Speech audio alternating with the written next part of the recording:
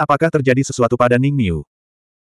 Ning Suran dan Ning Zixu saling berpandangan, berpikir bahwa segala sesuatunya menjadi serius. Jangan beritahu Ning Xuan dan ibunya tentang hal ini. Mari kita kirim seseorang untuk menyelamatkan Ning Niu terlebih dahulu. Kita akan berurusan dengan keluarga Zuokyu tentang tambang batu giok nanti. Kata Tuan dari keluarga Ning dengan suara rendah. Tuan, Tuan, mata pria kekar yang berbicara tadi berkedip, dan sedikit rasa bersalah muncul di wajahnya. Kami bertemu Ning Xuan saat memasuki rumah besar, dan dia sudah tahu tentang ini. Kalian benar-benar tidak bisa menahan kata-kata kalian. Kirim seseorang untuk membawa Ning Xuan ke sini segera. Tuan dari keluarga Ning berteriak dengan marah. Jika saja dia anak berusia lima tahun lainnya, mereka pasti tahu. Tapi Ningki berbeda. Tuan keluarga Ning tahu bahwa pikiran Ningki sudah sangat dewasa dan tidak bisa diperlakukan seperti anak biasa. Terlebih lagi, Ningki sekarang adalah seorang ahli bela diri di alam tubuh fisik tingkat ke-10. Jika dia tahu tentang ini, akan berbahaya baginya untuk menyelinap ke kota Green Summit. Sekalipun tingkat kultivasi bela diri seseorang tinggi, tingkat kultivasi hanyalah sebagian dari faktor dalam pertarungan sesungguhnya. Faktor yang sebenarnya adalah pengalaman. Tuan dari keluarga Ning tidak optimis terhadap Ningki. Ning Zixu segera meninggalkan aula depan. Tak lama kemudian, dia kembali ke aula depan sendirian dengan wajah serius. Seseorang melihat Ning Xuan keluar. Kirim seseorang untuk segera mengejarnya. Jangan biarkan dia pergi ke Green Summit Town. Tuan dari keluarga Ning membuat keputusan yang cepat. Aku akan mengejarnya. Ning Zixu mengangguk dan berbalik untuk pergi. Ayah, kami tidak pernah salah paham dengan keluarga Zuokyu.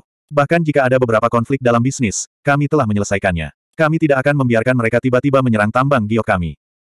Mungkinkah hal ini ada hubungannya dengan Sekte Tujuh Pedang? Ning Suran tiba-tiba berkata. Tuan keluarga Ning melambaikan tangannya untuk membubarkan orang-orang lainnya. Kemudian dia berkata dengan wajah serius, sejak Ning Xuan melukai Sangguan Nong, seorang murid dari Sekte Tujuh Pedang, mereka tidak mengambil tindakan apa pun. Kali ini, mungkin mereka sedang menguji kita. Jika kita tidak dapat menyelesaikan masalah ini, saya khawatir mereka akan menggunakan segala macam koneksi untuk memaksa kita ke jalan buntu. Bahkan jika kita mengirim seseorang ke Istana Ungu Murni, karena Sekte Tujuh Pedang belum benar-benar mengambil tindakan, saya khawatir Istana Ungu Murni tidak dapat melakukan apa pun kepada mereka. Kita harus mengandalkan diri kita sendiri. Di luar kota Yanxing, Ningki berlari jauh lebih cepat daripada seekor kuda hanya dengan kakinya.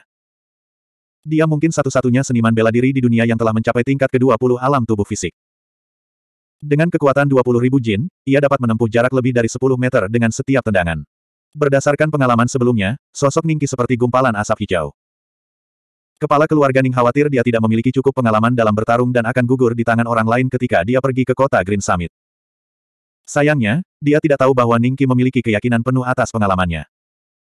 Di tangannya, tidak akan menjadi masalah baginya untuk melipat gandakan kekuatan 20 ribu jin. Dibandingkan dengan kecepatan Ningki, Ning Zisu jauh lebih lambat. Bahkan jika ia memacu kudanya dengan kecepatan penuh, ia masih akan membutuhkan waktu setidaknya 4 jam untuk mencapai kota Green Summit. Sedangkan Ningki, ia dapat menempuh jarak 200 mil dalam waktu setengah jam. Ia setidaknya empat kali lebih cepat dari Ning Xixu. Satu jam kemudian, Ningki akhirnya tiba di kota Green Summit. Tambang giok keluarga Ning berada di puncak gunung di kota Green Summit. Dia bisa melihatnya sekilas begitu dia memasuki kota. Cek-cek, siapa sangka keluarga Zuokyu dari kota Tausa benar-benar akan menghancurkan tambang giok keluarga Ning. Iya, kali ini keluarga Ning lengah dan kehilangan tambang giok sebelum mereka sempat bereaksi. Kudengar ratusan penambang ditahan oleh keluarga Zuokyu. Kurasa mereka harus memakan semangkuk nasi keluarga Zuokyu di masa depan. Aneh sekali, keluarga Zuokyu dan keluarga Ning tidak pernah punya permusuhan. Kenapa mereka tiba-tiba melakukan ini kali ini? Kudengar pengurus tambang giok terbesar adalah saudara ipar kepala keluarga Ning. Dia langsung dibunuh oleh seniman bela diri keluarga Zuokyu. Ada banyak orang yang sedang mengobrol di kota Green Summit. Saat Ningki berjalan menuju puncak gunung, dia mendengar banyak gosip.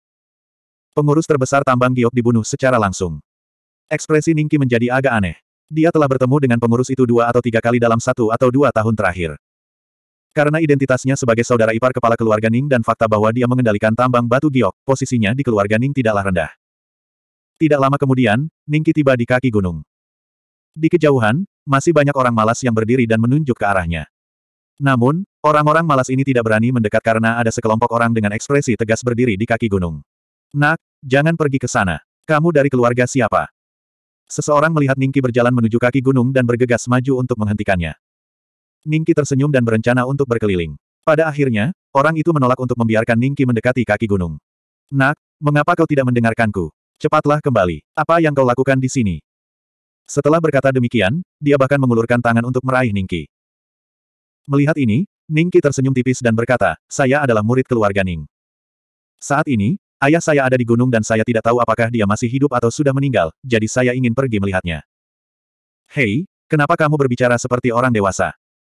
Orang itu tertegun, tetapi kemudian dia bereaksi, dan sedikit keterkejutan melintas di matanya. Seorang murid keluarga Ning. Ayo, ayo sekarang juga. Orang tua, enyahlah dari hadapanku. Tiba-tiba, suara dingin terdengar di telinga lelaki tua yang menghalangi Ningki. Orang tua itu sedikit terkejut, lalu buru-buru menoleh untuk melihat, hanya untuk melihat bahwa sekelompok orang di kaki gunung telah mengelilinginya. Orang tua kecil, ini tidak ada hubungannya denganmu. Pihak lainnya berteriak dengan dingin. Iya, lelaki tua itu mendesah dalam hati dan berdiri di samping. Keluarga Zuokyu adalah keluarga besar di kota Tausa. Beraninya dia melawan mereka, dia hanya bisa berpikir bahwa anak di depannya ini tidak beruntung. Namun, dia yakin bahwa pihak lain tidak akan bertindak terlalu jauh dengan seorang anak berusia lima tahun. Memikirkan hal ini, dia diam-diam menghela napas lega. Apakah kamu baru saja mengatakan bahwa ayahmu ada di gunung? Orang yang berbicara itu memiliki bekas luka di wajahnya, dan terlihat sangat garang. Saat ini, dia menatap Ningki sambil tersenyum tipis. Iya. Ningki mengangguk sedikit. Ayahmu seorang penambang. Pihak lainnya bertanya lagi. Ayah saya, Ning Niu, saya dengar dia terluka. Saya ingin tahu bagaimana keadaannya sekarang. Ningki berkata sambil tersenyum. Oh, jadi kamu adalah anak dari lelaki pemarah itu. Hahaha, kamu datang di waktu yang tepat. Ayahmu memang ada di gunung. Ikutlah denganku. Sekilas terlihat keterkejutan di mata pihak lainnya, lalu dia berkata sambil tersenyum. Jangan pergi, banyak orang di kota Green Summit berkata dalam hati. Sayang sekali. Mereka kecewa. Ningki dengan patuh mengikuti mereka menaiki gunung. Pihak lain sangat terkejut melihatnya. Mungkin saja Ning Niu telah menyinggung beberapa orang penting, jika tidak pihak lain tidak akan memiliki ekspresi seperti itu. Ini juga menjelaskan mengapa sekelompok orang yang melarikan diri kembali ke keluarga Ning mengatakan bahwa kaki Ning Niu patah. Hei, anak ini punya lengan dan kaki kecil, tapi dia bisa berjalan sangat cepat, dan dia tidak tampak lelah. Ketika mereka sampai di tengah gunung, beberapa orang yang sedikit terengah-engah memandang Ningki dengan heran. Lelaki berwajah penuh bekas luka itu menunjuk ke sebuah gudang tak jauh dari situ dan berkata sambil tersenyum, ayahmu ada di sana, ayo. 4262 Ningki melihat banyak pria berotot bertelanjang dada berlutut di sekitar gudang di kejauhan. Mereka pastilah para penambang batu giok. Di belakang mereka, ada banyak seniman bela diri yang memegang pedang panjang. Para penambang ini tidak berani bergerak sama sekali. Mereka bahkan tidak berani mengangkat kepala. Berjalan perlahan ke gudang, Ningki segera melihat Ning Niu tergeletak di tanah. Seluruh tubuhnya dipenuhi luka-luka kecil. Sepertinya seseorang baru saja menyiksanya. Semut kotor, beraninya kau menyinggung perasaanku. Di depan Ning Niu berdiri seorang gadis muda yang tampak berusia sekitar 18 atau 19 tahun. Dia cantik tetapi matanya dipenuhi kebencian, membuatnya tampak muram. Di samping gadis muda itu berdiri beberapa prajurit dengan senyum di wajah mereka. Kultivasi mereka lebih tinggi daripada Knife Scar dan Ki serta darah mereka setidaknya berada di tingkat keenam alam tubuh fisik. Nona pertama, saya rasa kita harus membunuhnya saja. Semut seperti ini tidak pantas menerima siksaan pribadi Nona pertama. Seorang prajurit tersenyum menjilat. Mata Ningki bergerak dan melihat sebuah pedang kecil di tangan gadis itu. Ini berarti bahwa Ning Niu telah disiksa oleh gadis ini hingga meninggalkan begitu banyak luka di tubuhnya. Pertama, Nona, jika Anda masih belum merasa puas, putra orang ini ada di sini. Knife Scar berjalan di belakang Ningki bersama bawahannya dan tersenyum manis pada gadis itu. Baru pada saat itulah orang-orang di dalam gudang menyadari bahwa ada sosok pendek di luar gudang. Pandangan mereka semua tertuju pada Ningki. Anak ini adalah putra orang ini. Ekspresi semua orang menjadi aneh dan senyum tipis muncul di mata mereka. Mereka tidak menyangka seorang anak seusia ini akan datang ke rumah mereka. Ning Niu awalnya dalam keadaan koma, tetapi dia sepertinya mendengar sesuatu. Dia berusaha sekuat tenaga untuk membuka matanya dan mengangkat kepalanya. Tak lama kemudian, dia melihat sosok yang dikenalnya. Suan, Suaner. Cepatlah pergi. Ning Niu bersemangat. Dia mencengkeram tanah dengan kedua tangan dan merangkak ke arah Ning Suan. Sayangnya, pergelangan kakinya diinjak oleh seorang prajurit sebelum dia bisa merangkak jauh. Ning Niu hanya bisa menatap Ning Xuan dengan penuh emosi saat air mata mengalir di matanya. Ayah, tidurlah. Ayah akan baik-baik saja setelah tidur. Ningki berkata dengan lembut. Tidur. Semua orang terkejut dan menatap Ningki dengan aneh. Mereka merasa ada yang salah dengan nada bicara Ningki. Kedengarannya ini bukan sesuatu yang akan dikatakan anak berusia empat atau lima tahun. Dia tampak tidak takut sama sekali. Scar, apakah kau berhasil menangkapnya? Wanita itu menyipitkan matanya dan menatap Ningki. Nona sulung, saya sedang menunggu di kaki gunung, dan bocah nakal ini datang sendiri. Jika nona muda pertama tidak keberatan, aku dapat menyiksanya atas nama nona muda pertama untuk melampiaskan amarahmu. Scar berkata sambil tersenyum menyanjung. Ayahku, apa kesalahannya sehingga kamu tega menyiksanya seperti ini? Ningki tiba-tiba mengangkat kepalanya dan menatap wanita itu. Hehe, ayahmu baru saja menggunakan tangan kotornya untuk menyentuh pakaian nona muda. Ini adalah penghujatan terbesar terhadap nona pertama. Scar tak segan-segan menyanjung wanita itu. Ekspresi beberapa kultivator di samping wanita itu berubah beberapa kali. Mereka sangat tidak puas dengannya. Dia hanya menyentuh ujung bajunya saja, dan dia sudah melukai ayahku seperti ini. Ningki sedikit terkejut. Apakah kamu benar-benar tidak takut sama sekali? Wanita itu tiba-tiba penasaran tentang Ningki. Takut. Jangan takut nanti. Ningki tiba-tiba tersenyum lebar. Ia berbalik dan melompat. Di hadapan semua orang, ia langsung menamparkan kepala bawahan Scar ke dada mereka. Satu kepala bertelapak tangan. Apa yang sedang terjadi? Mata semua orang memperlihatkan ekspresi terkejut. Beberapa dari mereka bahkan menggosok mata mereka. Ketika mereka menyadari bahwa pemandangan di depan mereka bukanlah ilusi, mereka semua menghirup udara dingin di dalam hati mereka. Beberapa ahli di tingkat keempat alam tubuh fisik benar-benar telah langsung dibunuh oleh seorang anak kecil yang bahkan tidak mencapai pinggangnya. Ning Miu yang tadinya bertahan dan tidak pingsan, ikut menampakkan ekspresi terkejut saat melihat pemandangan ini. Bunuh dia. Wanita itu bereaksi sangat cepat. Dia langsung berteriak dan cepat-cepat mundur beberapa langkah. Matanya dipenuhi dengan keterkejutan dan kemarahan saat dia menatap Ningki. Kau sedang mencari kematian. Scar segera mencabut pedang panjang di pinggangnya dan langsung menebas Ningki. Sayangnya, saat pedang panjang itu hendak jatuh di kepala Ningki, pedang itu tidak bisa lagi jatuh. Dua jari yang halus dengan lembut menjepit bilah pedang itu. Mustahil, wajah Scar menunjukkan ekspresi tidak percaya. Dia kemudian berteriak keras dan ingin menarik kembali pedang panjang itu. Namun, tidak peduli seberapa kuat dia menggunakan, pedang panjang itu masih dijepit oleh jari-jari Ningki dan tidak bisa bergerak sama sekali. Dia ada di tingkat keenam alam tubuh fisik. Bagaimana mungkin dia tidak cocok untuk anak ini? Apakah anak ini manusia atau hantu? Beberapa seniman bela diri di sekitar wanita itu menampakkan ekspresi ngeri. Pada saat ini, mereka tiba-tiba teringat kata-kata Ningki. Jangan takut, beranikah kau membunuh orang dengan mudahnya dengan kekuatan yang begitu kecil? Ningki mendesah pelan dan menarik sikunya. Scar segera melonggarkan cengkeramannya dan pedang panjang itu jatuh ke tangan Ningki. Panjang pedang itu bahkan lebih tinggi dari Ningki.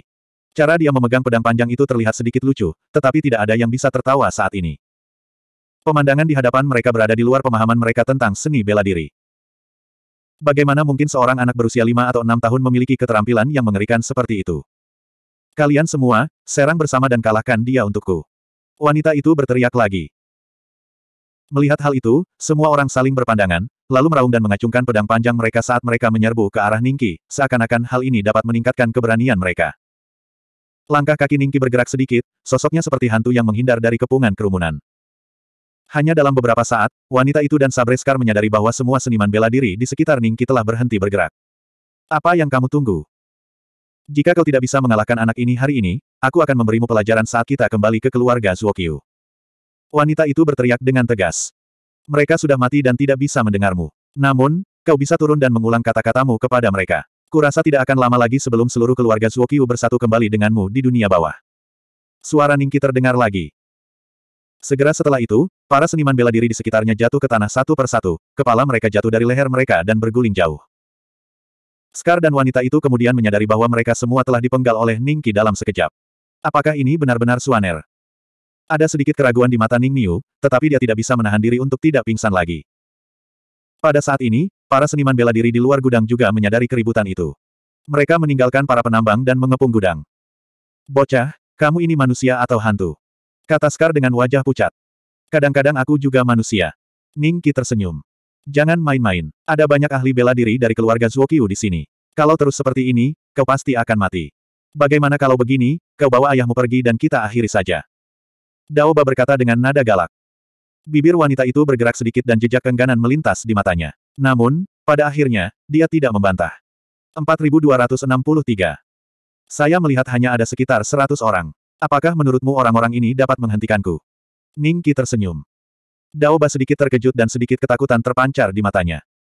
Dia hanya merasa bahwa anak di depannya memberinya firasat yang sangat menyeramkan.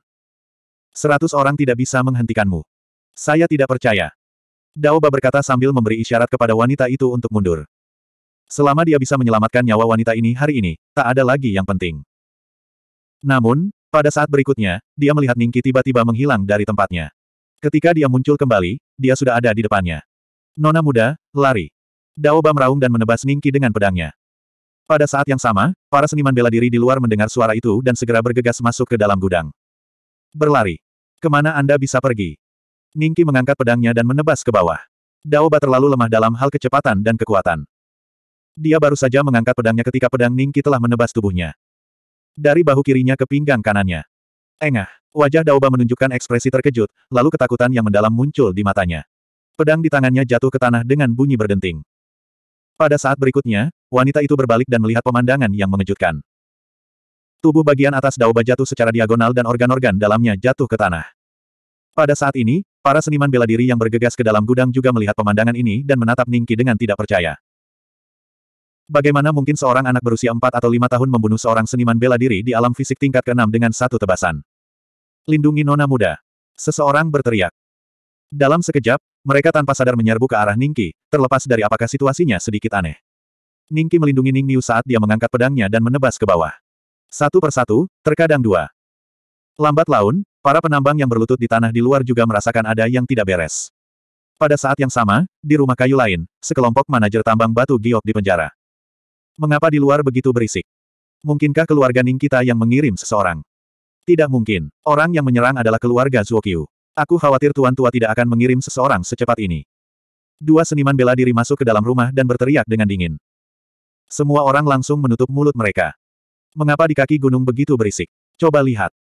Kedua seniman bela diri saling berpandangan, dan salah satu di antara mereka mengerutkan kening. Baiklah, kamu awasi mereka. Aku akan pergi melihatnya. Prajurit lainnya mengangguk dan berjalan keluar rumah menuju lereng gunung. Ketika dia mencapai setengah jalan ke atas gunung, dia melihat mayat-mayat berserakan di tanah. Ada genangan darah di mana-mana, dan di antara mayat-mayat itu berdiri seorang anak yang memegang pisau panjang. Kultivator dari klan Zuokyu itu sedikit terkejut, dan jejak kengerian segera muncul di matanya. Apa yang terjadi? Mengapa begitu banyak orang meninggal? Dari kepala-kepala yang berserakan di tanah, dia mengenali beberapa wajah yang dikenalnya. Beberapa hari yang lalu, dia minum dan makan daging bersama mereka, tetapi sekarang, kepala mereka telah dipisahkan dari tubuh mereka, dan mereka mati dengan mata terbuka lebar. Apa yang sedang terjadi? Si seniman bela diri memutar lehernya yang kaku dan melihat sosok lain. Sosok itu adalah nona tertua keluarga Zuokyu yang bertugas melindungi mereka. Kau pasti hantu, Zuo Lingin memaksakan senyum. Ningki tersenyum dan perlahan berjalan ke arahnya. Jangan datang. Zuo Lingin akhirnya tidak dapat mempertahankan sikapnya lagi. Dia langsung jatuh ke tanah, menopang dirinya dengan tangannya, dan terus mundur. Wajahnya menjadi sangat terdistorsi karena ketakutan. Dengan senyum di wajahnya, Ningki mendekati Zuo Lingin selangkah demi selangkah.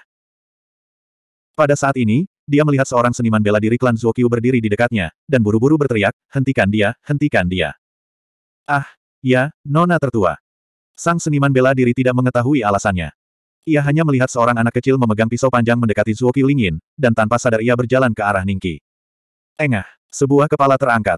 Ningki tidak melihatnya dan terus mendekati Zuo Lingin. Mata Zuo Lingin menunjukkan sedikit keputusasaan.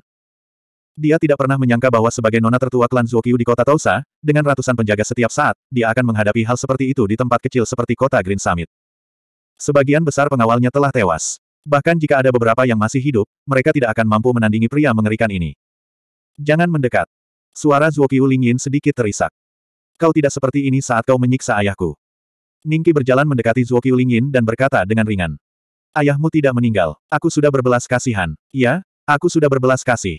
Kau juga sudah membunuh banyak pengawalku. Mari kita hapus permusuhan di antara kita, oke? Okay. Zuo Lingyin memohon belas kasihan. Pada saat ini, dia mendapati para penambang di sekitarnya telah berkumpul dan melihat pemandangan itu dengan ekspresi aneh. Dalam keputusasaan, Zuo ingin buru-buru meminta bantuan dari orang-orang yang pernah dianggapnya sangat kotor. Selamatkan aku, tolong selamatkan aku. Aku adalah nona tertua klan Zuo Siapa pun yang dapat menyelamatkanku, aku akan menjaminnya seumur hidup dalam kemuliaan, kemegahan, dan kekayaan. Para penambang ini tampak sangat aneh. Salah satu dari mereka melangkah maju dengan hati-hati dan bertanya kepada Ningki, Tuan Muda, apakah Anda putra Diakon Ning Niu? Apakah kamu punya obat? Sembuhkan ayahku dulu. Kalau tidak, kirim seseorang ke Green Summit Town untuk mencari dokter. Ningki berkata dengan ringan. Iya iya iya. Penambang itu mengangguk cepat. Dia tampak seperti pemimpin para penambang. Dia berbalik dan memberi perintah. Seketika, para penambang berlari menuruni gunung, tampaknya untuk mencari dokter. Konon katanya, putra Deken Ning Niu itu sejak kecil memang sudah pintar dan terkenal sebagai anak ajaib, tapi sekarang, semua orang terkejut dan ketakutan. Lihat, mereka tidak akan menolongmu, dan mereka tidak bisa menolongmu. Tatapan mata Ningki kembali tertuju pada Zuo Lingyin, dan dia berkata sambil tersenyum, jika kamu punya kata-kata terakhir, kamu bisa meninggalkannya. Aku akan menyampaikannya ke klan Zuo untukmu. Kamu masih ingin pergi ke klan Zuokyuku. Wajah Zuokyu Lingyin berangsur-angsur menjadi kesal. Kalau begitu aku harap kau bisa melakukan apa yang kau katakan. Pergilah, pergilah ke klan Zuokyuku. Ayahku pasti akan membunuhmu, dan dia tidak akan membiarkanmu mati begitu saja. Ini kata-kata terakhirmu. Aku akan mengingatnya. Aku pasti akan membawanya kepadamu. Ningki mengangguk dan mengangkat tangannya. Puci, darah menyembur dari leher yang patah seperti air mancur. Kepala yang tak bernyawa itu jatuh ke tanah dan berguling jauh. Meskipun tidak ada vitalitas di mata yang tidak bisa ditutup, masih ada jejak kebencian di dalamnya. Para penambang di sekitar melihat ke arah Ningki yang berdiri di genangan darah. Tubuhnya berlumuran darah, bahkan rambutnya pun diwarnai merah karena darah. Mereka tidak dapat menahan rasa kagum di mata mereka. Ningki berjalan perlahan ke sisi Ning Niu dan duduk bersila. Cedera yang dialami Ning Niu hanya luka ringan dan tidak mengancam jiwa. Namun, jika kakinya tidak dirawat dengan baik, kemungkinan besar akan memengaruhi kemampuannya berjalan di kemudian hari. 4264 Setelah menunggu sekitar setengah jam, seorang lelaki tua bertubuh kecil dengan wajah ketakutan digendong oleh beberapa penambang. Dr. Chen, cepat periksa luka-luka di Akon Ning. Penambang terkemuka itu berkata dengan cepat. Ini, kenapa banyak sekali mayat di sini? Dr. Chen tercengang, dan ketakutan di wajahnya semakin kuat. Namun, setelah beberapa saat, dia bereaksi dan bergegas berlari ke sisi Ning Niu sambil membawa kotak obat di punggungnya. Sambil memeriksa lukanya, dia juga menatap Ningki dengan sudut matanya. Semua lukanya hanya luka ringan. Meskipun ada beberapa luka dalam, lukanya tidak mengancam jiwa. Kirim beberapa orang untuk membantu saya membawanya ke apotek. Namun, sepasang kaki ini tidak mudah untuk ditangani. Saya khawatir tidak akan nyaman untuk berjalan di masa mendatang. Setelah Dr. Chen selesai memeriksa Ning Niu, dia menatap Ningki, nak, kamu terluka di sekujur tubuhmu, di mana yang terluka? Terima kasih Dr. Chen, saya tidak terluka. Ningki tersenyum, lalu tatapannya tertuju pada penambang terdepan, bagaimana aku harus memanggilmu? Ah, namaku Lindong. Penambang terkemuka itu berkata dengan cepat. Paman Lin, kamu urus saja urusan di gunung. Kamu tahu di mana diaken lainnya, kan? Saya akan pergi ke apotek bersama ayah saya. Ningki bangkit dan berkata.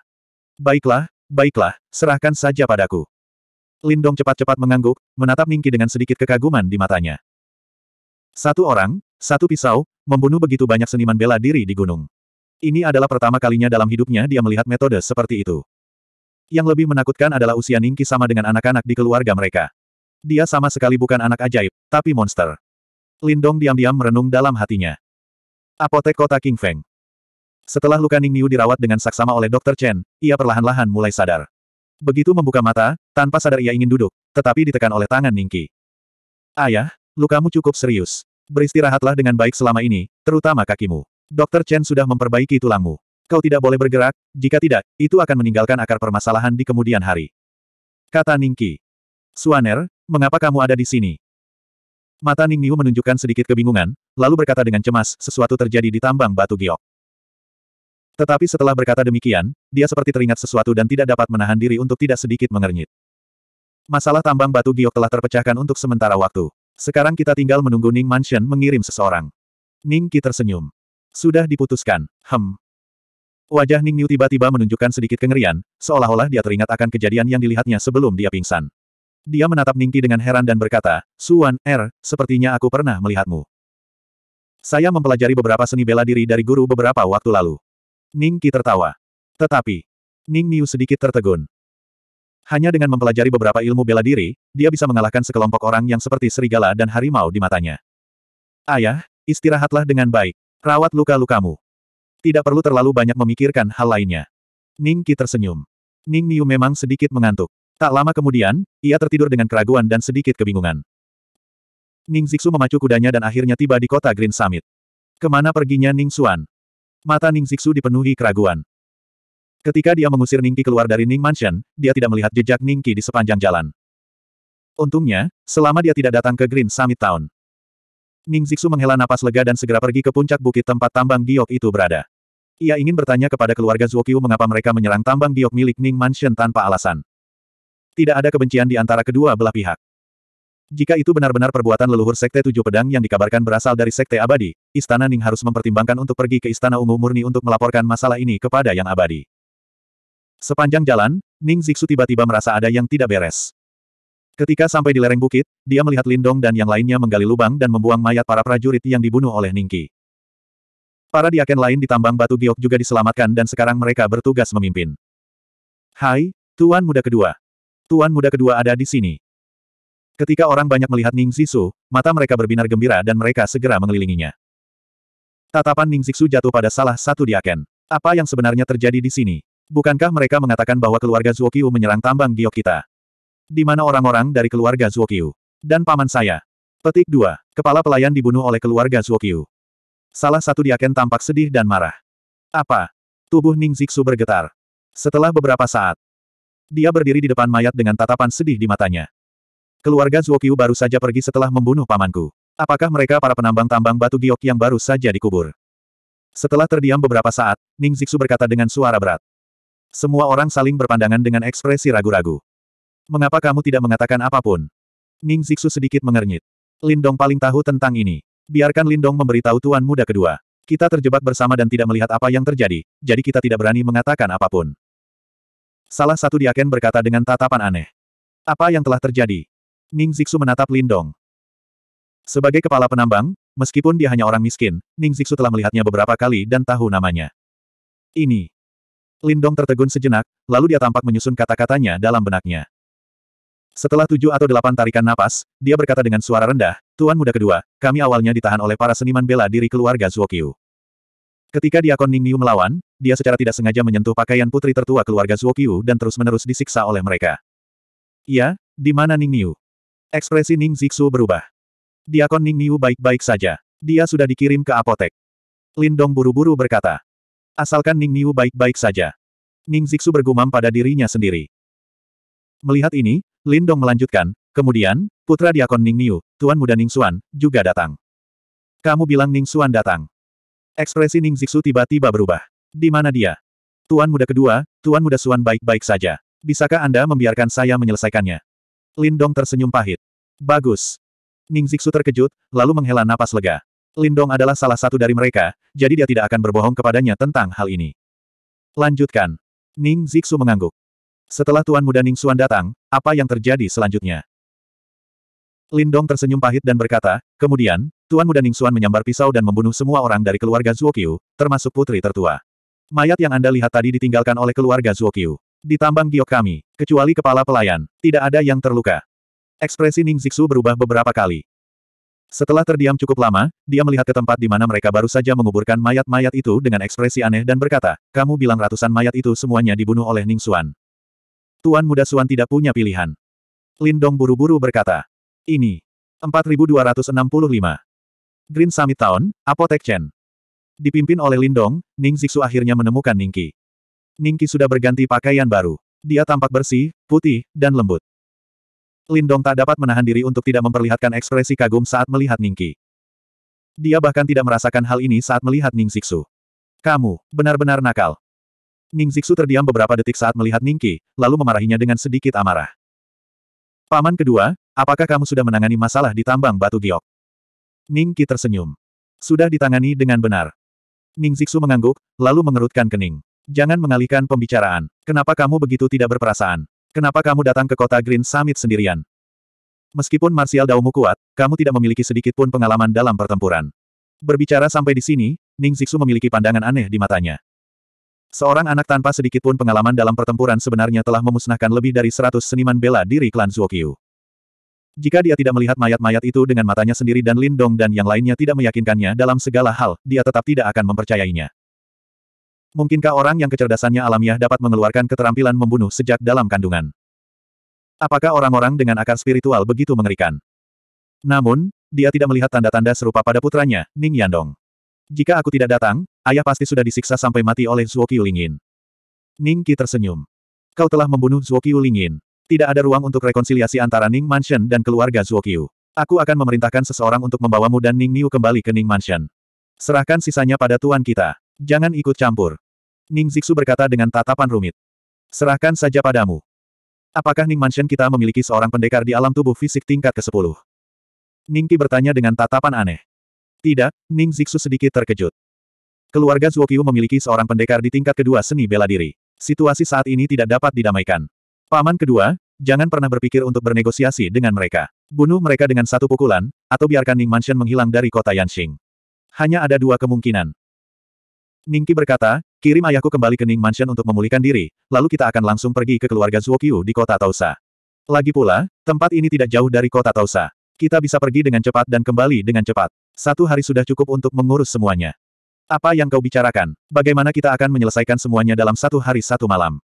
Wajah Ning Zixu dipenuhi dengan keheranan. Bunuh saja semua orang dari klan Zuokyu dan ambil alih bisnis mereka. Bukankah masalahnya akan selesai kalau begitu? Dalam situasi saat ini, jika kita tidak menggunakan metode yang menggelegar seperti itu, apakah kita punya pilihan lain? Ningki menatap Ning Zixu dengan tenang. Lindong menghirup udara dingin di dalam hatinya dan menatap kosong ke arah Ningki. Apakah ini sesuatu yang bisa dikatakan oleh seorang anak berusia lima tahun? Membunuh setiap anggota klan Zuokyu. Bahkan jika kita benar-benar dapat memusnahkan klan Zuokyu, metode seperti itu pasti akan mengundang kritik dari semua pihak. Ning Zixu berkata dengan ekspresi aneh, belum lagi kamu juga tahu bahwa klan Zuokyu memiliki ranah kedua dalam martial Dao, bahkan kamu tidak akan sebanding dengannya. Masalah ini hanya dapat diselesaikan oleh guru spiritual Istana Murni Ungu, Ziyang. Paman kedua, menurutmu, makhluk macam apa para pejuang itu? Ningki tiba-tiba tertawa. Seniman bela diri. Ning Zixu merasa ada makna yang lebih dalam di balik kata-kata Ningki, jadi dia berpikir sejenak tanpa sadar, tetapi pada akhirnya, dia tidak memberikan jawaban. Sebaliknya, dia bertanya kepada Ningki, bagaimana menurutmu? Menurutku, para pendekar juga manusia biasa. Memangnya kenapa kalau mereka punya ranah kedua dalam martial Dao? Apa mereka masih bisa hidup kalau kepalanya dipenggal? Sekalipun mereka dari Sekte Abadi, mereka harus kembali ke akarnya setelah kehilangan kepala mereka.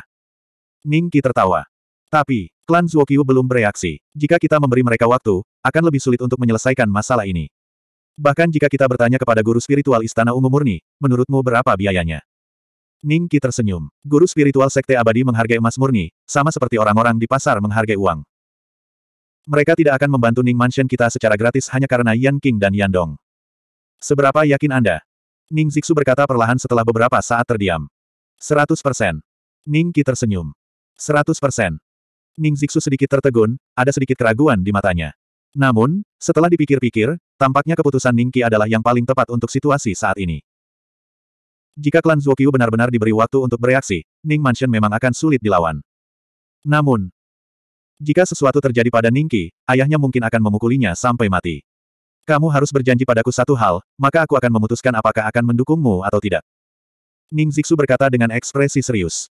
Paman kedua, tolong beritahu aku. Ningki tersenyum. Jika tidak mungkin, aku ingin kau menyelamatkan nyawamu sendiri terlebih dahulu. Kau tidak bisa melakukan sesuatu dengan gegabah. Selama masih ada kehidupan, masih ada harapan. Kurasa guru telah mengajarkanmu hal ini. Kata Ning Zixu. Tentu saja. Ning Qi mengangguk. Lindong, pergilah menyewa kereta dan antar Ning Niu kembali ke rumah Ning. Juga, beritahu ayahku bahwa aku telah membawa Ning Xuan ke kota Taisa dan minta dia mengirim seseorang untuk menjemput kita. Kata Ning Zixu. Ya, tuan muda kedua. Lindong mengangguk dengan sungguh-sungguh. Ngomong-ngomong, jangan sebarkan pembicaraan antara aku dan Ning Xuan. Kata Ning Zixu. Lindong mengangguk cepat, aku tahu. Di kota Taisa. Karena Ning Zixu bersikeras datang sendiri, Ning Qi hanya bisa menunggang kudanya. Akibatnya, kecepatan perjalanan sangat berkurang, dan butuh waktu dua hingga empat jam untuk sampai di sana. Saat itu, hari sudah malam.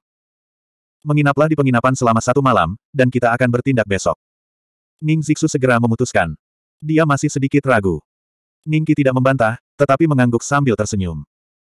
Larut malam, ketika nafas Ning Zixu berangsur-angsur stabil, Ningki diam-diam meninggalkan penginapan. Kediaman terbesar di kota Taisa bukanlah rumah gubernur, tetapi klan Zuokyu. Ningki dengan mudah menemukan tempat ini dan dengan cekatan melompati tembok.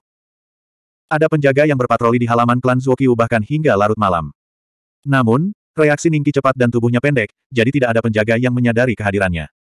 Dalam waktu kurang dari 10 menit, Ningki telah tiba di kediaman dalam klan Zuokyu, yang dijaga paling ketat. Di halaman terbesar, ada sebuah ruangan yang masih terang benderang. Ningki diam-diam mendekat dari balik bayangan dan berdiri di dekat jendela. Percakapan di ruangan itu terdengar jelas olehnya. Ayah, kau membiarkan adik perempuanmu pergi ke kota puncak hijau. Apakah itu benar-benar ide orang dari Sekte Tujuh Pedang itu? Iya, aku menerima surat darinya beberapa waktu lalu. Selain itu, kamu harus tahu bahwa dua orang dari kediaman Ning telah memasuki Sekte Abadi. Kita bisa memanfaatkan orang dari Sekte Tujuh Pedang itu untuk menekan kediaman Ning. Sejauh pengetahuan saya, kultivasi Sekte Abadi sangat menghargai uang. Tanpa dukungan dari kediaman Ning, kedua pemuda yang telah memasuki Sekte Abadi tidak akan mencapai banyak hal di masa depan. Tetapi jika, tidak ada jika, kota Taisa kita tidak jauh dari kota Yanxing. Jika kita membiarkan kediaman Ning berkembang, klan Zuokyu kita akan menjadi pengikut dalam beberapa dekade. Jadi, mereka cocok. Mata Ningki bersinar penuh pengertian. 4266. Tambang batu giok di kota Green Summit seharusnya sudah diambil alih oleh adik perempuan. Ketika kediaman Ning menanggapi dan mengirim seseorang untuk bernegosiasi, haruskah kita bergerak? Percakapan berlanjut di dalam rumah. Jangan bunuh terlalu banyak orang. Anggap saja ini sebagai konflik bisnis biasa dan tekan industri Ning Residence. Jika terlalu banyak orang yang terluka, saya khawatir Istana Ungu Murni akan campur tangan. Klan Zuokyu kita tidak mampu menyinggung Sekte Abadi. Oleh karena itu, berita tentang kerjasama kita dengan Sekte Tujuh Pedang tidak dapat disebarkan. Bahkan jika mereka memiliki beberapa kecurigaan, mereka tidak akan memiliki cukup bukti. Saya mengerti. Setelah menghitung waktunya, saya akan membawa orang-orang ke Green Summit tahun besok. Mem, kamu boleh pergi. Aku lelah. Setelah beberapa saat, lampu di rumah itu redup. Sepuluh napas kemudian, Ningki muncul diam-diam di dalam rumah. Ada seorang lelaki tua yang usianya hampir sama dengan ketua klan Ning, mungkin empat atau lima tahun lebih tua. Dia memancarkan aura yang jauh lebih kuat dari pemimpin klan Ning. Siapa ini? Pihak lain sangat sensitif. Ningki hanya berdiri di depan tempat tidur selama beberapa tarikan napas sebelum dia bereaksi. Dia segera melompat dari tempat tidur dan melihat Ningki dengan bantuan cahaya bulan. Kau, orang tua itu tiba-tiba merasakan hawa dingin menjalar di tulang punggungnya. Seorang anak tiba-tiba muncul di kepala tempat tidur di tengah malam dan menatapnya dengan tenang. Bahkan seorang ahli tingkat tinggi akan terkejut untuk sementara waktu, apalagi seorang praktisi seni bela diri kuno alam pernapasan embrionik. Kota Yanxing, rumah Ning, Ningki. Ningki berkata dengan ringan. Rumah Ning di kota Yanxing. Ketakutan di hati Zuoqiu Wanzang sedikit memudar dan digantikan oleh keraguan. Ekspresinya menjadi sedikit aneh saat dia menatap Ningki sambil menyalakan kembali lilin di ruangan itu. Apakah kamu benar-benar dari Ning Mansion kota Yanxing? Bagaimana Anda bisa masuk ke dalam sini? Zuoqiu Wanzang berkata dengan ekspresi serius. Dia memiliki sedikit keraguan dalam benaknya. Dia baru saja menyerang keluarga Ning di kota Yanxing dan seorang anak muncul di depan rumahnya di tengah malam. Bagaimana dia bisa melewati halaman yang dijaga ketat dan datang ke sini? Dinding halaman rumahmu tidak tinggi, jadi aku melompat masuk. Ning Qi tersenyum. Saya baru saja mendengar Anda dan putra Anda berdiskusi tentang cara menekan Ning Mansion dan memutus aliran uang Yan King dan Yan Dong dari Istana Ungu Murni. Ekspresi Zuokyu Wanzang sedikit berubah dan rambutnya berdiri tegak. Kapan kamu datang? Saya baru saja ke sana. Saya mendengar percakapan antara Anda dan putra Anda. Saya ingin tahu apakah anggota Zuokyu Mansion lainnya tahu tentang rencana Anda. Ning Qi tertawa. Kabarnya, ada satu tipe orang di dunia ini yang tidak bisa tumbuh dewasa. Mereka disebut kurcaci. Meskipun aku belum pernah melihatnya, kamu pasti salah satunya. Aura dalam tubuh Zuokyu Wanzang berangsur-angsur meningkat. Ketakutan dalam hatinya telah berkurang, digantikan oleh niat membunuh. Ia tidak percaya bahwa anak di depannya adalah anak sungguhan. Hanya seorang kurcaci yang bisa menjelaskan apa yang telah dilihat dan didengarnya. Jika kau bilang begitu. Ning Qi tersenyum. Aku baru saja bertanya padamu. Bisakah kau menjawabku? Masalah ini menyangkut apakah klan Zuoqiumu akan dimusnahkan atau tidak. Ini cukup penting. Memusnahkan seluruh klan. Berani sekali kau. Zuoqiu Wanzang tiba-tiba meledak dan meninju kepala Ning Qi. Di tinjunya, ada lapisan cahaya merah redup yang terlihat jelas. Alam pernapasan embrionik. Ningki telah berjaga-jaga terhadapnya selama ini, jadi ketika Zuoqiu Wanzang meledak, Ningki malah mundur alih-alih maju.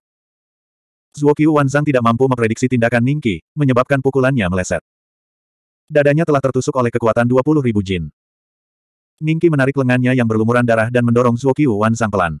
Zuokyu Wanzang terjatuh kembali ke tempat tidur. Matanya yang perlahan kehilangan vitalitasnya, memperlihatkan sedikit kebingungan dan keraguan. Kau bukan Ningki. Kau Ningsuan dari Istana Ning yang tidak diterima oleh Istana Ungu Murni meskipun memiliki akar spiritual. Zuokyu Wanzang tiba-tiba duduk, matanya terbelalak saat dia melotot ke arah Ningki. Kamu akan mati. Apakah itu penting? Ningki tersenyum dan berbalik untuk berjalan ke sudut lain ruangan. Di sana ada lemari yang berisi banyak barang antik. Sejak awal, dia sudah merasakan kehadiran energi roh pada barang antik tersebut.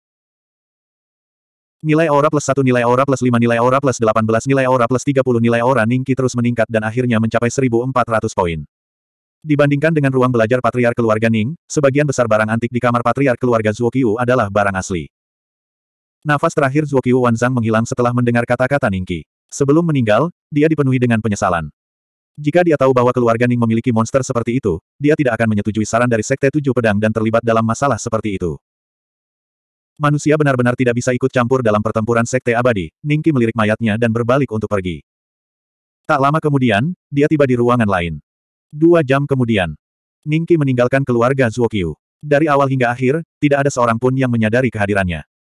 Blazing Sun Fist. Ini seharusnya adalah teknik bela diri. Teknik tinju yang digunakan kepala keluarga Zuokyu tadi mungkin adalah Blazing Sun Fist. Ningki membolak-balik buku di tangannya saat dia berjalan menuju penginapan. Buku ini memperkenalkan metode kultivasi tinju matahari terbakar. Ningki pada dasarnya dapat memahaminya hanya dengan sekali pandang. Ini seharusnya adalah teknik bela diri yang sangat biasa, dan tampaknya hanya memiliki satu lapisan. Menurut buku-buku, ketika seseorang mengolahnya hingga mencapai puncak, seseorang dapat membakar tubuhnya sampai mati. Setelah tiba di penginapan, pikiran Ningki bergerak sedikit, dan aliran data di depannya mengalir deras seperti air terjun. Pada panel atribut, selain nilai energi spiritual dan teknik kondensasi Ki, ada data lain. Tinju matahari yang terik. Ada juga tanda tambah di akhir. Melihat ini, Ningki mengetuknya dengan ringan, mengurangi 10 poin energi spiritual, dan Scorching Sun Fist ditingkatkan ke level pertama.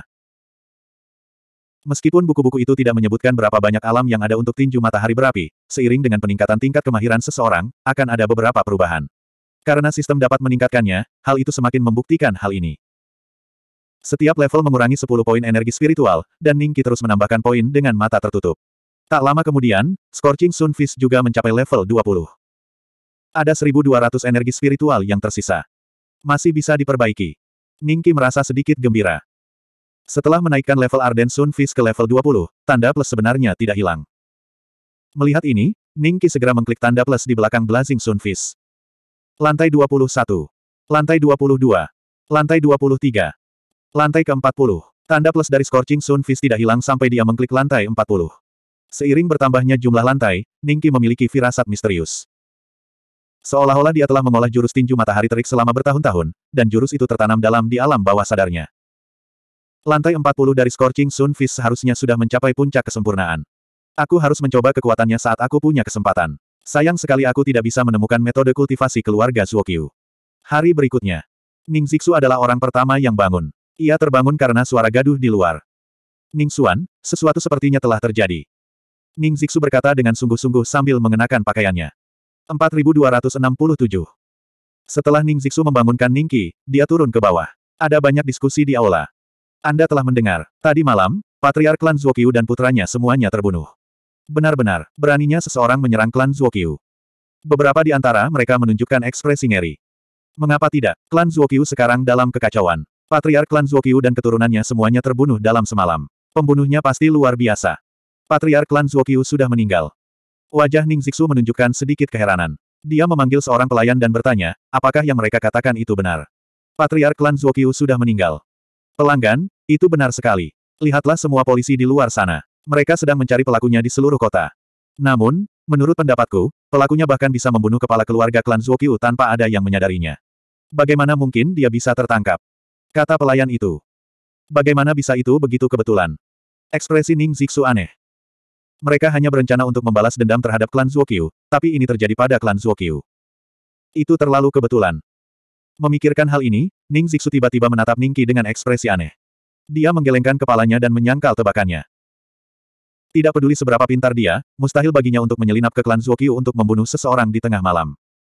Dia memesan sarapan. Ning Zixu makan dan berkata kepada Ningqi, sekarang sesuatu seperti ini terjadi pada klan Zuokyu, haruskah kita mengubah rencana kita? Jika Patriark klan Zuokyu benar-benar mati, maka tidak perlu pergi. Kita bisa kembali ke rumah Ning saja. Ning Qi tersenyum. Itu bagus.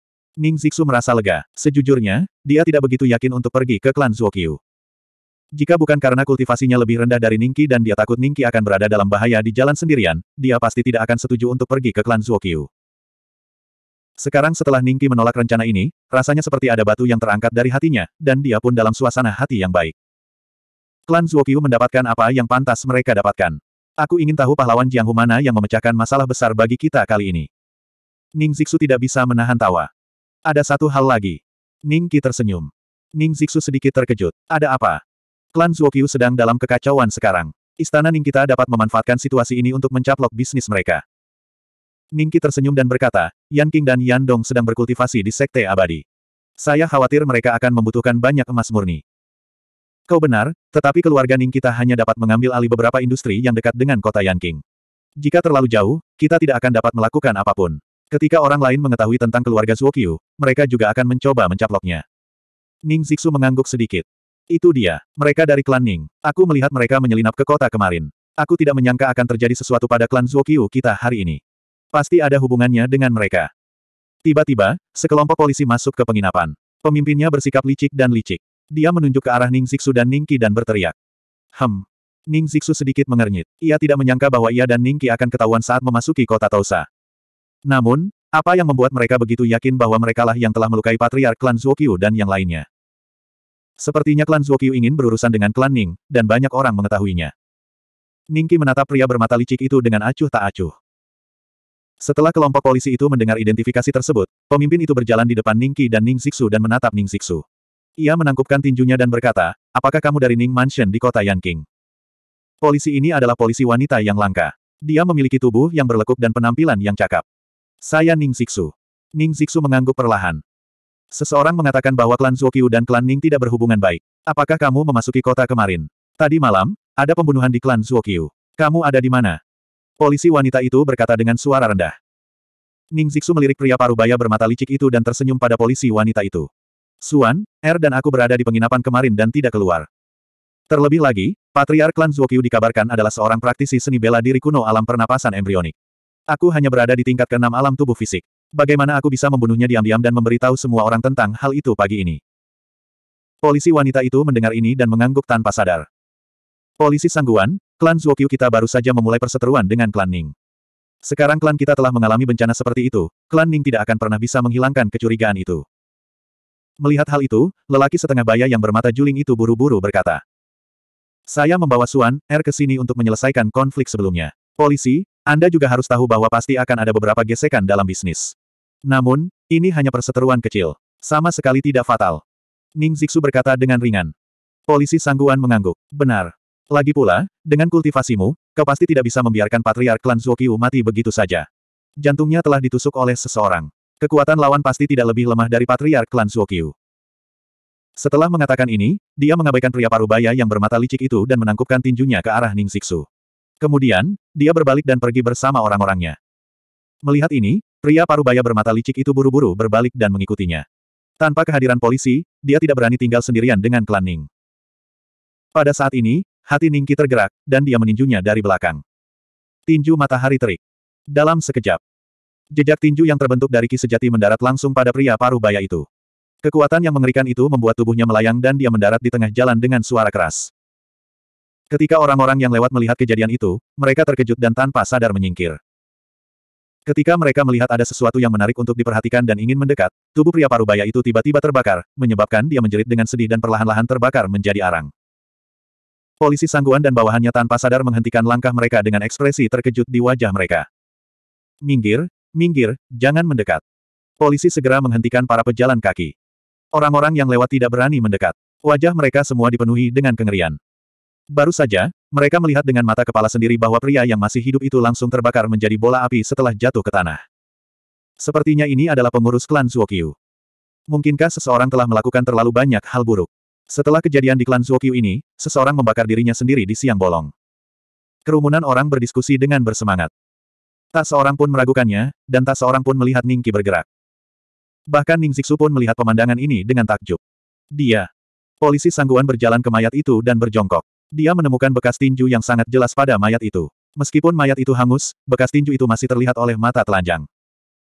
Bahkan jika dia tidak terbakar sampai mati, dia tidak akan selamat dari luka seperti itu.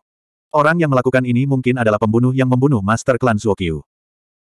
Mata polisi Sangguan menampakkan sedikit keseriusan. Konon katanya hanya mereka yang berada di alam pernapasan embrionik yang dapat menggunakan ki sejati untuk menembus tubuh. Aku masih belum berada di alam pernapasan embrionik, tetapi aku dapat membunuh musuh dari jarak jauh.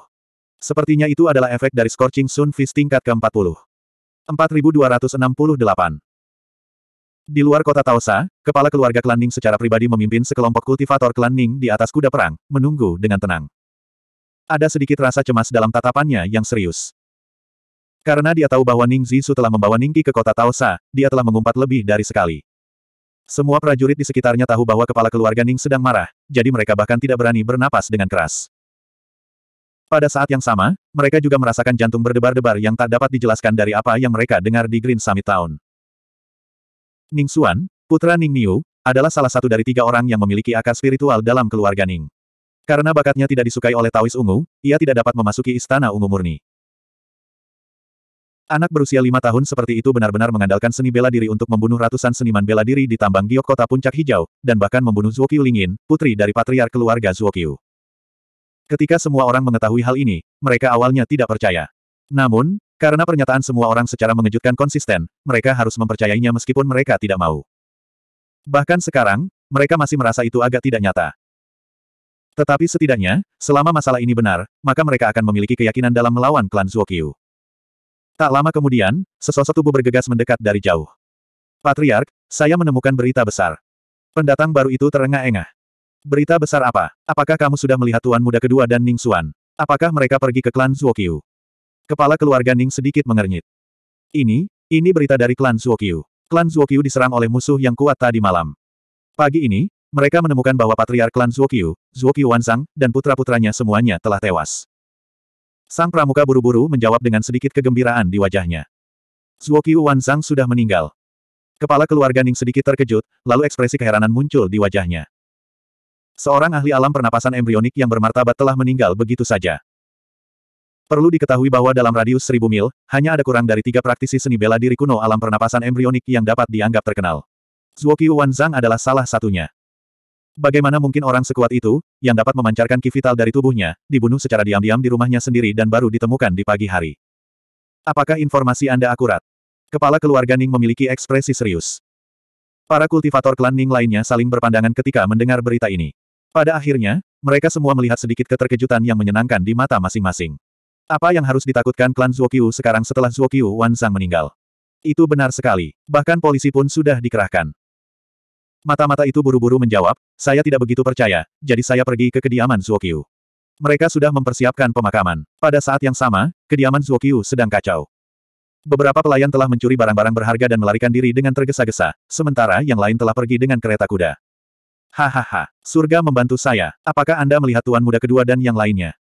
Kepala keluarga Ning tampak sedikit bersemangat.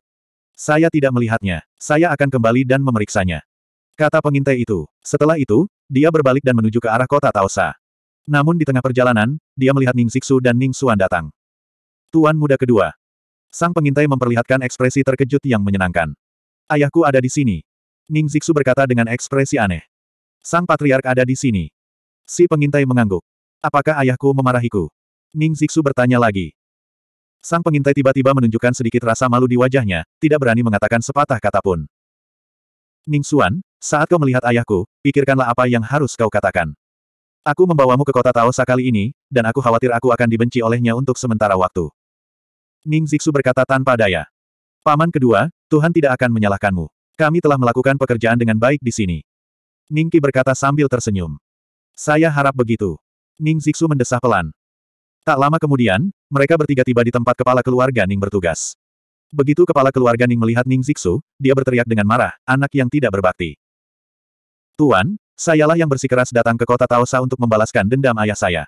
Ini tidak ada hubungannya dengan paman kedua. Kultivasi paman kedua tidak sekuat milik saya, jadi dia tidak bisa menghentikan saya. Sebaliknya, dia mempertaruhkan nyawanya untuk menemani saya ke kota Taosa. Anda tidak boleh menyalahkannya. Ningki berbicara lebih dulu. Ning Zixu segera mengangguk tanda setuju. Kepala keluarga Ning tidak bisa berkata apa-apa lagi. Dia tetap diam dengan ekspresi aneh. Banyak sekali prajurit keluarga Ning yang diam-diam memperhatikan Ningki. Mereka belum pernah mendengar bahwa Ningki memiliki bakat dalam seni bela diri. Namun, dilihat dari sikap kepala keluarga Ning, sepertinya dia sudah mengetahuinya. Lupakan saja, jangan lakukan itu lagi. Kepala keluarga Ning berkata dengan suara rendah setelah terdiam lama. Ning Zixu merasa lega dan berkata cepat, Ayah, keluarga Zuokyu sedang dalam situasi yang buruk sekarang. Sudah saatnya kita memanfaatkan kelemahan mereka dan membunuh mereka. Aku tidak butuh kamu untuk mengingatkanku.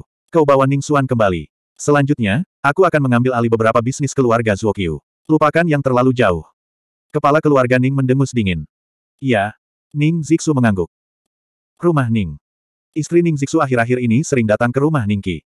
Setiap kali dia datang, dia akan membawa banyak makanan bergizi karena luka Ning Miu semakin parah dan dia perlu memulihkan diri. Hari ini, istri Ning Zixu datang lagi. Setelah dia pergi, Ibu Ning Niu tiba-tiba melirik Ning Niu. Mengapa kamu begitu pendiam akhir-akhir ini? Dokter bilang kalau kakimu sudah sembuh, kamu tidak akan menjadi cacat. Saya. Ning Niu menggelengkan kepalanya dengan ekspresi aneh. Aku tidak khawatir apakah aku akan menjadi cacat. Apakah kamu khawatir tentang Suaner? Suaner seharusnya aman bersama tuan muda kedua. Kamu dapat memanfaatkan waktu ini untuk memulihkan diri di Ning Mansion. Jangan keluar lagi. Ibu Ning Zixu berbisik. Sebenarnya. Ning Niu ragu-ragu sejenak, lalu menatap Ibu Ning Zixu. Apakah Suan, Er berlatih bela diri akhir-akhir ini? Iya, dia berlatih dengan tuan muda kedua selama sehari beberapa waktu lalu, tapi kemudian dia berhenti. Mungkin Suan, Er tidak memiliki bakat dalam seni bela diri. Ibu Ning Zixu tersenyum. Tidak punya bakat. Ning Miu berkata dengan ekspresi aneh, aku ingat, jika Suan Er tidak datang tepat waktu kali ini, aku mungkin sudah mati di kota King Feng. Suan, Er datang tepat waktu. Bukankah Suan, Er pergi menemuimu bersama tuan muda kedua? Ibu Ning Zixu sedikit bingung. Ning Miu berkata perlahan sambil mengatur kata-katanya. Ibu Ning Zixu perlahan-lahan menunjukkan sedikit keheranan di wajahnya dan menutup mulutnya karena tidak percaya. Kamu mengatakan bahwa Suan, Er membunuh banyak orang di kota King Feng. Mata Ibu Ning Zixu penuh dengan kekhawatiran. Pada saat yang sama, dia menggelengkan kepalanya karena tidak percaya. Tidak mungkin. Bagaimana mungkin Suan, Er membunuh orang? Bagaimana dia bisa mengalahkan para prajurit dengan tangan dan kaki yang kecil itu? Memang benar, aku juga tidak percaya. Tapi setelah memikirkannya beberapa hari ini, aku yakin aku mengingatnya dengan benar. Ning Miu tampak aneh. Jadi kamu tidak mengatakan apa pun akhir-akhir ini karena kamu sedang memikirkannya. Entah kau mengingatnya dengan benar atau tidak, Suaner adalah anak kita. Bahkan jika dia membunuh banyak orang, dia tetap anakku. Ibu Ning Zixu mendengus. Ibu, aku kembali. Suara Ningki terdengar di luar halaman. 4269. Setelah melihat Ningki, Ibu Ning memegangi tubuhnya dan melihat ke sekeliling. Sepertinya Ibu Ning ingin melihat apakah Ningki terluka. Melihat tidak ada luka di tubuh Ningki, Ibu Ning merasa lega. Aku sangat khawatir beberapa hari ini. Kau tidak boleh berlarian seperti ini lagi di masa depan, mengerti? Wajah Ibu Ning tiba-tiba tenggelam dan berkata. Mengerti. Ningki tersenyum dan mengangguk. Ibu Ning berubah dari marah menjadi gembira. Dia membungkuk untuk menggendong Ningki dan berjalan ke halaman. Apa yang ingin kamu makan hari ini? Ibu akan memasaknya untukmu. Rebusan daging kambing. Hari berikutnya. Ningki menyelinap keluar dari rumah Ning dan pergi ke sebuah gunung di pinggiran kota Yanxing. Tak lama kemudian, dia berdiri di depan sebuah pohon dengan diameter sekitar satu kaki. Pukulan matahari berapi-api sudah berada di level 40, tetapi Ningki belum sepenuhnya menguji kekuatannya. Hari ini, ia ingin melihat seberapa besar daya rusak dari pukulan matahari berapi-api level 40 dan buku kondensasi Ki level 20. Aku akan menggunakan 30% kekuatanku terlebih dahulu. Ningki tiba-tiba meninju pohon itu. Aliran merah Ki sejati segera keluar dari tinjunya. Wah, Kekuatan mengerikan itu membuat serbuk kayu beterbangan ke mana-mana. Ningki memfokuskan pandangannya dan melihat bahwa pohon itu telah ditusuk olehnya. Ada bekas hangus hitam dan beberapa percikan api di sekitarnya. Dia hanya menggunakan 30% kekuatannya untuk meninju pohon yang berdiameter sekitar satu kaki. Jika pukulan ini mengenai tubuh manusia, tidak akan ada yang mampu menahannya. Berikutnya adalah 60%. Ningki meninju lagi. Ledakan. Serpihan kayu beterbangan di mana-mana. Pohon itu langsung patah menjadi dua bagian. Berikutnya adalah 100%. Pukulan lainnya. Kali ini, sama persis seperti saat dia menyerang di kota Taosa. Energi sejati di tinjunya berubah menjadi segel tinju, yang terbang di udara dan mendarat di pohon yang telah patah menjadi dua. Wah! Tiba-tiba api yang berkobar menyala. Api itu tampak berbeda dari api biasa. Hanya butuh belasan napas waktu untuk membakar separuh batang pohon menjadi arang. Kekuatannya sangat mengagumkan. Tidak ada yang bisa dibandingkan. Aku tidak tahu di alam mana kemampuanku setara dengan para praktisi bela diri kuno. Aku sudah pasti mencapai alam pernapasan embrionik. Di atas alam pernapasan embrionik tampaknya adalah alam sekte abadi. Ning Zixu pernah berbicara tentang alam bela diri sebelumnya, tetapi dia tidak membicarakannya secara rinci. Mungkin dia sendiri juga tidak mengetahuinya. Dia hanya tahu bahwa ada sepuluh tingkatan di alam tubuh fisik.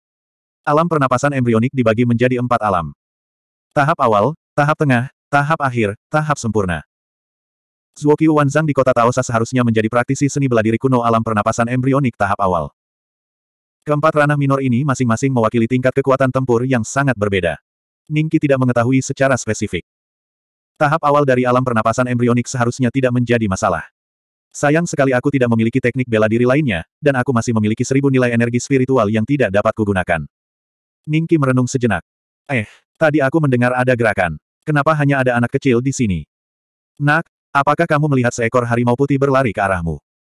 Tak jauh dari situ, dua orang wanita dan seorang pria berjalan mendekat. Mereka berpakaian seperti pendekar pedang, tetapi mereka tampaknya bukan dari Yan King City. Mungkinkah pohon ini tersambar petir? Sangguan Fei Xuan bertanya dengan bingung. Saya bertanya kepadamu, apakah kamu melihat seekor harimau putih berlari lewat? Salah satu wanita itu berbicara lagi, menatap Ningki dengan sedikit ketidaksabaran di matanya. Dari mana datangnya harimau putih? Ningki menggelengkan kepalanya sambil tersenyum dan berbalik untuk pergi. Tempat ini memang disebut hutan setan harimau, dan ada desas-desus bahwa ada seekor harimau putih yang memiliki kecerdasan spiritual. Namun, desas-desus itu hanyalah desas-desus, dan tidak ada seorang pun yang benar-benar melihat harimau putih itu.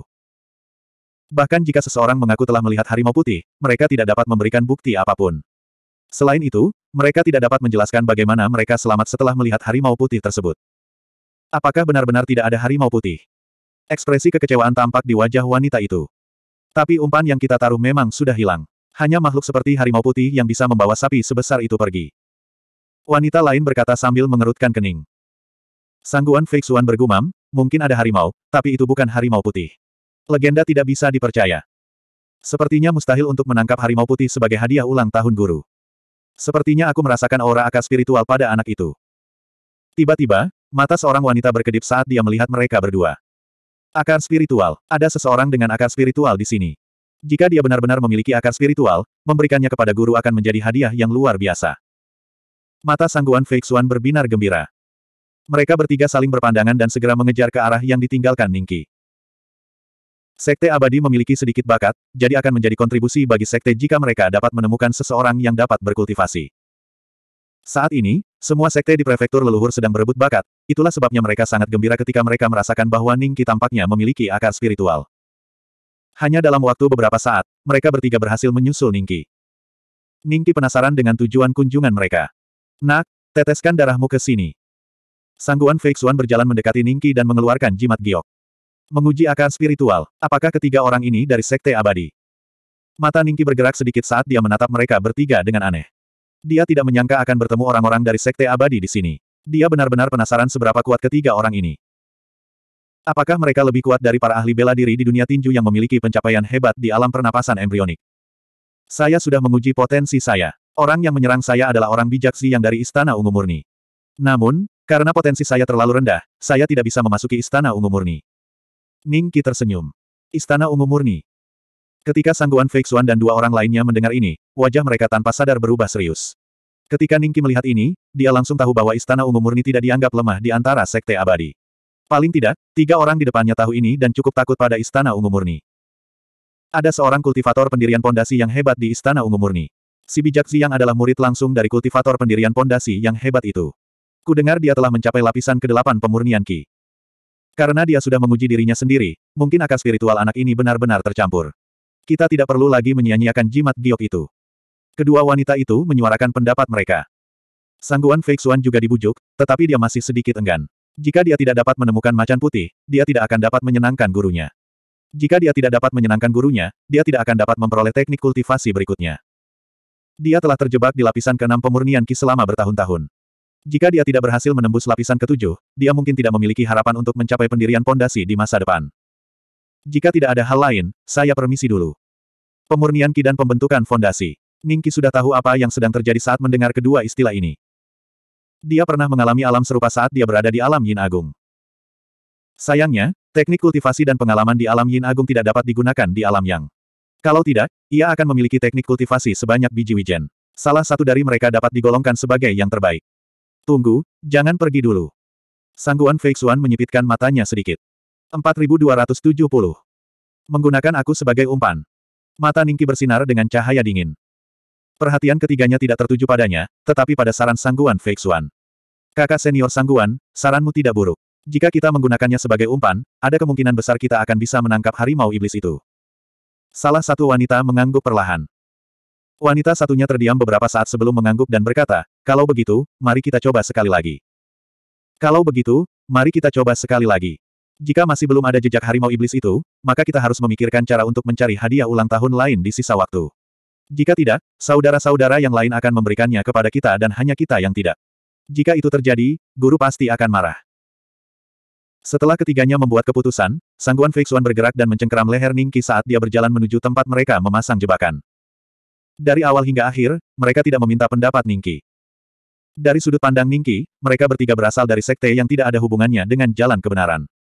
Atau, mereka bertiga tidak peduli dengan hidup dan mati manusia dan tidak peduli dengan bahaya menggunakan Ningki sebagai umpan. Hei, anak ini juga sangat pemberani. Dia bahkan tidak menangis atau membuat keributan. Tak lama kemudian, mereka tiba di tepi sebuah lubang. Saat mereka hendak melemparkan Ningki ke dalam lubang sebagai umpan, salah satu wanita itu menatap Ningki dengan heran. Kalian semua akan mati. Mengapa aku harus menangis? Ningki diam-diam meninju pelipis sangguan Feixuan. Kekuatan mengerikan itu langsung menembus kepalanya. Pada saat berikutnya, dia menggunakan tubuh sangguan Feixuan sebagai batu loncatan dan tiba-tiba menendang tanah. Dia melesat ke pelukan wanita lain seperti bola meriam. Hanya dalam beberapa tarikan napas, dada wanita itu tertusuk. Desir. Swiss. Dua kobaran api yang berkobar keluar dari tubuh mereka. Satu-satunya wanita yang masih hidup terkejut saat melihat pemandangan di depannya dengan tak percaya. Dia adalah seorang kultivator alam pemurnian ki tingkat ke-6 dan kakak senior serta kakak senior alam pemurnian ki tingkat ke-5. Bagaimana mungkin mereka bisa dibunuh oleh seorang anak berusia 4 atau 5 tahun? Bagaimana ini bisa terjadi? Saat dia sadar kembali, Ningki sudah muncul di depannya. Wanita itu tanpa sadar menembakkan jimat kuning. Ledakan. Jimat itu berubah menjadi petir dan membombardir Ningki. Apakah dia mati? Wanita itu menatap Ningki dengan ketakutan saat dia mundur. Seluruh tubuh Ningki hangus menghitam, dan gumpalan asap hijau mengepul darinya. Rasa sakit yang hebat disalurkan dari sarafnya ke otaknya. Dia memaksa matanya terbuka dan melihat ketakutan di wajah wanita itu. Metode orang-orang dari Sekte Abadi memang lebih kuat daripada metode para kultivator. Namun, wanita ini tampaknya tidak memiliki banyak pengalaman dalam bertarung. Selain itu, dia takut padaku. Seharusnya tidak sulit untuk membunuhnya. Memikirkan hal ini, sosok Ningki menghilang lagi dan mendekati wanita itu seperti hantu. Wanita itu terkejut dan menembakkan jimat kuning lainnya. Setiap jimat lima petir harganya lebih dari seratus keping emas murni, dan dia hanya punya dua. Dia tidak pernah menyangka bahwa seorang anak berusia empat hingga lima tahun bisa selamat setelah terkena jimat lima petir. Kali ini, Ningki sudah siap. Begitu dia mengangkat tangannya, dia mengubah posisinya dan dengan mudah menghindari jimat lima petir. Ledakan. Jimat lima guntur meleset. Sementara itu, Ningki muncul di depan wanita itu. Tidak, jangan bunuh aku. Mata wanita itu menampakkan ekspresi ketakutan. Dia berada di tahap keempat alam pemurnian Ki. Di dunia sekuler, kultivasinya sebanding dengan pencapaian agung alam pernapasan embrionik. Jika dia tahu seni bela diri dan cara bertarung, tindakannya pasti tidak akan begitu kekanak-kanakan. Aduh, Ningki meninju dahinya dengan dingin, lalu mundur dan berdiri diam. Ketika api telah membakar wanita itu menjadi abu, dia segera duduk bersila di tanah dan mulai berlatih manual kondensasi ki. Beberapa serangan tadi, ditambah serangan jimat lima petir, pada dasarnya telah menghabiskan energi vital dalam tubuhnya. Jika dia tidak pulih, akan sulit bagi tubuhnya untuk pulih dari cedera yang disebabkan oleh sambaran petir. Dua jam kemudian, energi vitalnya telah pulih sedikit. Ningki menatap luka-luka di tubuhnya dengan ekspresi serius. Bahkan jika dia pulih dari luka-luka ini, akan ada bekas luka yang mengerikan di tubuhnya. Hari ini agak berbahaya. Ningki mendesah dalam hatinya. Dia telah membunuh tiga orang kultivator dalam sekejap, terutama karena mereka meremehkannya. Yang lebih penting, itu karena Ningki telah melihat bahwa Sangguan Feixuan dan wanita lainnya memiliki kultivasi yang lebih tinggi. Dia telah melenyapkan dua musuh kuat dalam sekejap untuk membunuh kultivator wanita terakhir. Meski begitu, dia telah lengah dan terkena jimat itu. Cedera di tubuhku tidak mudah diatasi. Ningki mengalami sakit kepala. Ketika kembali ke Ning Mansion, dia tidak tahu bagaimana menjelaskan luka-luka di tubuhnya. Tepat saat dia hendak pergi, dia tiba-tiba melihat sesuatu pada tiga mayat hangus di tanah. Secara logika, benda-benda biasa seharusnya terbakar oleh Scorching Sun Fist miliknya. Karena api Scorching Sun Fist tidak dapat membakar benda-benda tersebut, bisa jadi benda itu adalah benda dari Sekte Abadi. Mata Ningki berkedip saat dia mengumpulkan semua benda yang tidak terbakar oleh Scorching Sun Fist. Tiga manual giok, satu botol porselen, dan dua jimat giok. Jimat giok dan salah satu manual giok ditemukan pada sangguan Feixuan. Metode budidaya. Ningki menyipitkan matanya saat dia membolak-balik tiga buku panduan giok. Memang, itu adalah metode kultivasi dari Sekte Abadi yang disebut seni pemurnian Ki. Metode kultivasi dalam tiga buku giok itu sama saja. Satu-satunya perbedaan adalah bahwa metode kultivasi sangguan Feixuan dibagi menjadi enam tingkatan. Metode kultivasi wanita lainnya berada pada tingkat kelima, dan buku panduan giok wanita terakhir hanya berisi metode kultivasi dari tingkat pertama hingga keempat. Metode kultivasi semacam ini seharusnya tidak terlalu mendalam. Namun, ketiganya memiliki level yang berbeda. Jelas, tidak mudah untuk mendapatkannya di Sekte Abadi. Tidak heran mereka ingin menangkap harimau iblis untuk ulang tahun guru mereka dan mendapatkan sisi baiknya. Ningki hanya menyimpan buku panduan giok itu pada sangguan Swan dan menghancurkan dua buku panduan giok lainnya. Meskipun api tidak dapat membakarnya, pukulan Ningki mengubahnya menjadi debu. Ramuan apa yang ada di botol porselen ini? Ningki membuka botol porselen itu dan melihat empat pil obat mujarab berwarna putih dengan aroma obat yang kuat. Namun, Ningki tidak akan meminumnya sebelum ia memahami khasiat pil obat mujarab itu. Dua jimat giok yang tersisa samar-samar memancarkan aura jimat lima guntur yang telah digunakan wanita itu sebelumnya. Hasil panen yang cukup melimpah. Ningki menyeringai, memperlihatkan gigi putihnya. Kemudian, dia menyapu ketiga mayat itu ke dalam lubang dan menguburnya dengan tanah kuning. Kemudian, dia berbalik dan pergi. Tak lama setelah dia pergi, sepasang mata hijau bersinar di tengah hutan lebat. Sepasang mata ini tampak dipenuhi keraguan dan kebingungan. Ningki tidak kembali ke Ning Mansion.